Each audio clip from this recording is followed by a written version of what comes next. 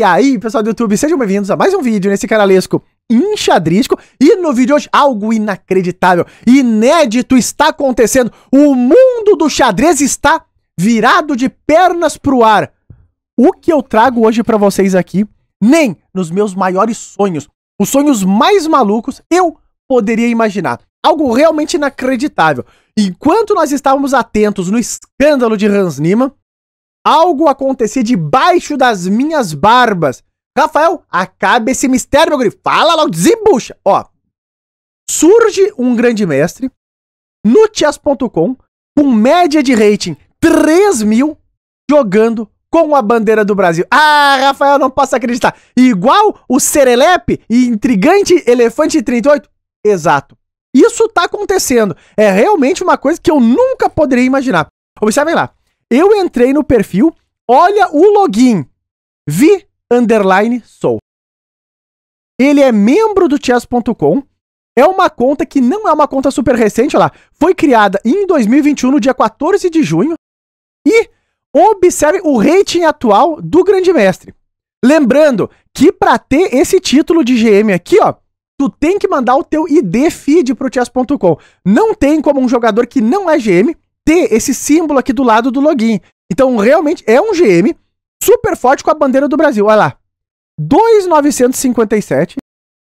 O rate mais alto dessa conta é 3.013. Isso aqui, pouquíssimos jogadores conseguem chegar numa marca como essa.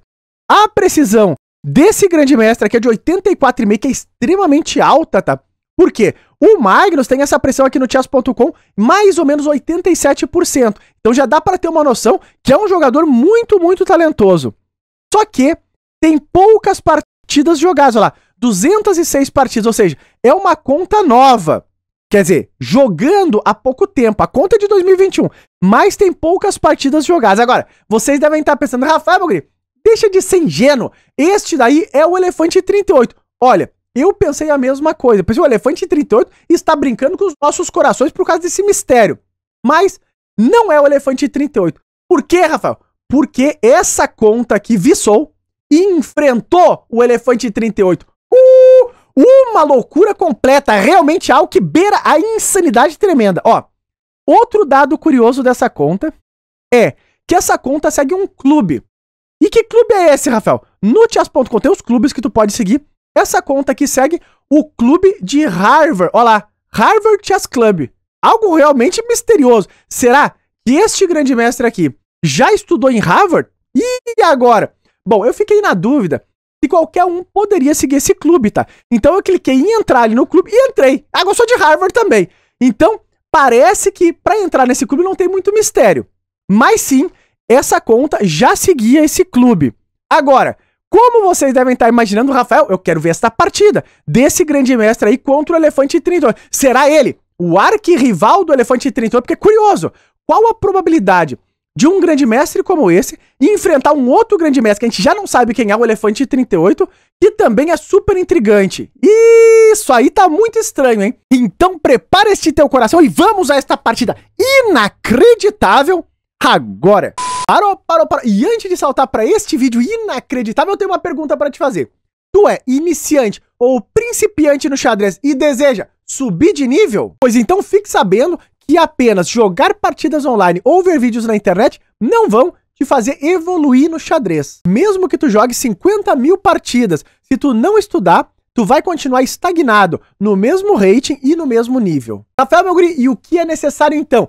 É necessário estudo e treino junto de uma metodologia. No curso da trilogia, além de tu receber um conteúdo do básico ao avançado, que vai te levar para o próximo nível, tu recebe também um guia para sempre continuar melhorando. E o valor, ele tá na promoção, R$ 93,00, um valor muito abaixo para a qualidade que é entregue no curso. Então não perde essa oportunidade, clica nos links que estão aqui na descrição e já garante a tua vaga para o curso. Uhul! Então, pessoal, aqui estamos nós e de brancas está o intrigante, misterioso e agressivo Elefante 38 contra Vissou e esta curiosa partida tem início com Equatrino favorito de Bob Fischer e tá lá. E5 jogado pelo Vissou e cavalo C3.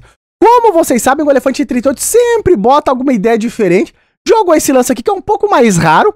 E agora? Cavalo F6 foi jogado e G3. O elefante está preparando agora bispo em G2 para fianquetar como aquele norueguês malandro, atrevido. E nessa posição, D5 foi jogado, já rompe no centro aqui o Vissou. Veio então a trocação, olha lá. É toma, retoma, catuco, mas não vejo. Jogou cavalo E2 nessa posição para preparar aqui bispo G2 e roque, sempre focado no desenvolvimento. O Vissou jogou agora cavalo C6, bota as peças em jogo também, bispo em G2.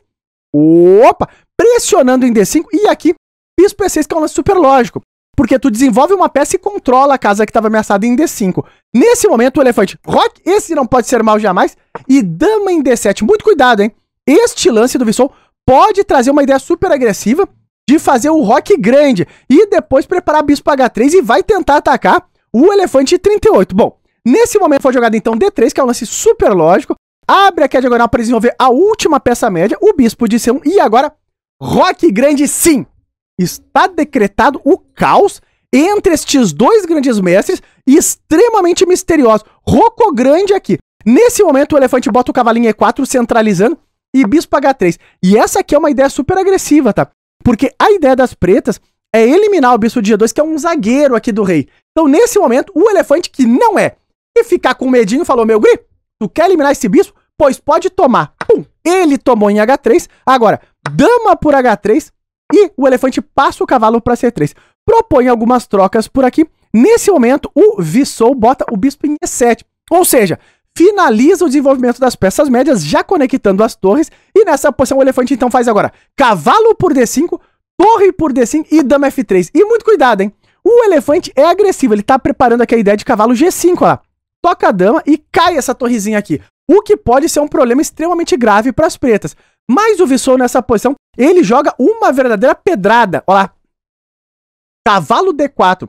E esse lance ameaça a dama do elefante 38 com a ideia de cheque. Então aqui o elefante tem agora um dilema em suas mãos. Por quê?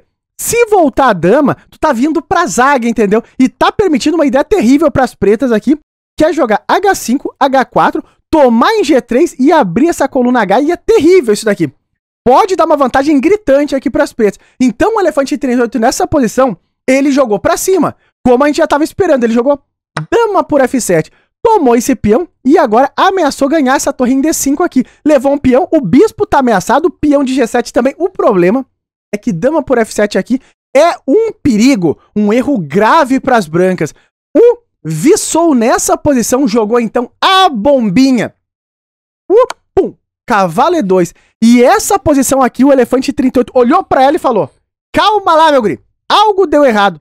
E aqui abandonou a partida do Elefante 38. Uma partida de 14 lances. É como eu tô dizendo.